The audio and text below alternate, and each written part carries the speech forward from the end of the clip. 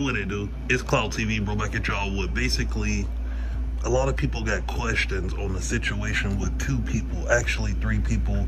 One that goes by the name of Memo 600, another that goes by the name of FBG Wooski, and a female who which happens to be FBG Wooski's girlfriend.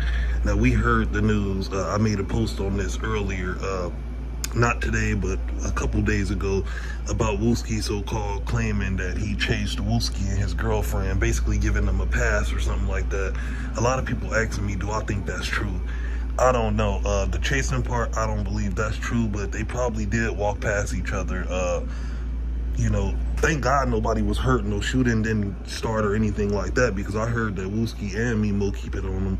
But as far as chasing him and his girlfriend, that could be kind of far-fetched.